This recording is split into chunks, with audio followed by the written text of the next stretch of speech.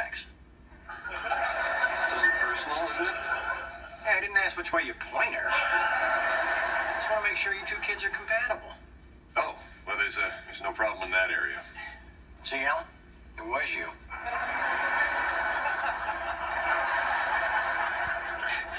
That's me, the original one pump chump. So I hear. The thing is, I'm, I'm just not sure I'm ready to be a stepfather. Oh, oh, sure you are. You'll be terrific, right, Charlie? Trust us, as long as there's food in the fridge and money in your wallet, you'll own the little pecker. The baby was exhausted. He fell asleep as soon as his head hit the pillow. Oh, another plus, sound sleeper. Yeah, nothing wakes that kid up, but I've had some real screamers at my place. It's getting late. I'd like to go to bed. Why don't you do that? Listen, fatherhood is no big deal. Truth is, with the internet and everything, they practically raise themselves. Alan, Oh, you go ahead, honey. I'll be in a second. I don't know. I, I just think I need some time to get used to the idea. No, no, no, no, don't think about it. Parenthood is like skydiving.